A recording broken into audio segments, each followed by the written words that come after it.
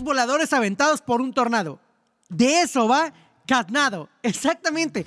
Si creías que los tornados que arrastraban cantidades como enormes eh, de personas, o por ahí que habían tiburones volando, payasos o dinosaurios, era lo más loco de las pantallas que podías ver de este cine tipo B de bajo presupuesto, pues bueno, llega de la mano de los creadores de Shark Exorcist y Shark of the Corn, llega esta parte de Catnado, así como lo escuchas, gatos volando en una en un tornado que vuelan, llegan, causan estrados en la ciudad y que además que la gente pues no está acostumbrada a recibir arañazos, pues bueno, van a crear asesinatos y locuras y todo, todo en ese, en ese universo, debajo por supuesto, de gatos girando. La verdad es que esta noticia se me hizo interesante traerla porque está loco lo que, lo que el cine B puede hacer en estos momentos. ¿Y de qué va? Porque ya tiene una sinopsis también esta película.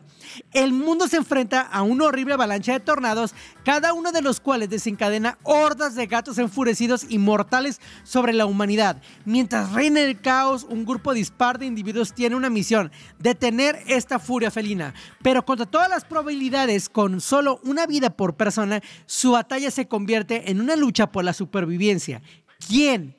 ¿Quién va a interponerse en el camino de los Catnado? Se más interesante la primicia, les vuelvo a decir, es una película de muy, muy bajo presupuesto. Es cine B, casi casero, que va a salir a, básicamente de lo que se le llamaría DVD directamente. Y bueno, en lo personal, sí esperaré a verlo porque me llama la atención, se me hace como interesante. Sé que no voy a tener los efectos especiales del año, la, la, pero es ridículo. Así nació Sharknado, así va el Shark eh, Exorcist o el Shark of the Core, o por ahí un priest que era un, un, padre que era también este Velociraptor. Bueno, sabe lo ocurre del cine B. Te en los comentarios.